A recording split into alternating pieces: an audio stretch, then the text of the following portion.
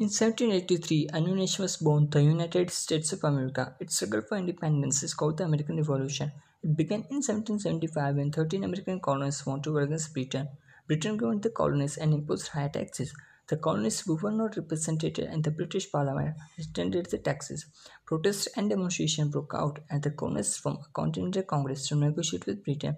A skirmish led to war and in 1776 the American colonists, inspired by the ideas of freedom, declared independence. The British surrendered in 1781 and two years later recognized the new country. The colonists set their own taxes, but in 1765 Britain introduced a stamp tax on liquor documents. The Anglo colonists said that the taxation without representation is tyranny. They refused to buy British goods. Britain withdrew the stamp tax but set others on glass and tea. Three groups of protesters dressed as Mohawk Indians boarded tea ships on Boston Harbor and threw their cargo into the river. In April 1775, the war began with skirmishes near Lexington and Concord. American patriots forced the British to withdraw at Lexington. They marched back to Boston under the continuous fire.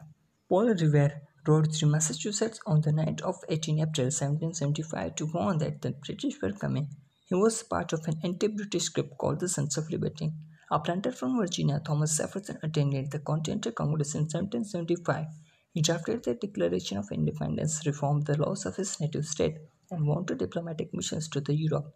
He became the third president of the USA in 1801 and served until 1809.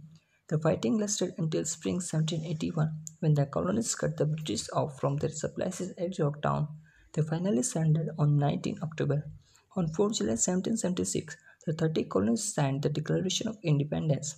This document stated that all men are created equal and its belief in life, liberty, and pursuit of happiness that were inspired by the French Revolution. The commander of the colony army was George Washington. He was an inspiring general who kept the morale of his troops high in spite of several defeats at the beginning of the war.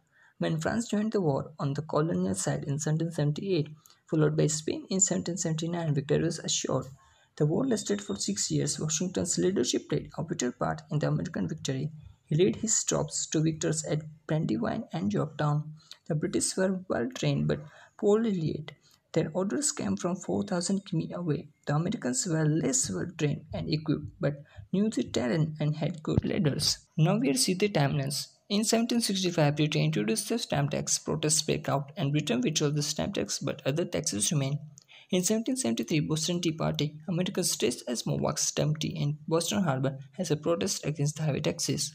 In 1774 to 75, Continental Congress representatives drafted a petition to Britain insisting no on taxation without representation.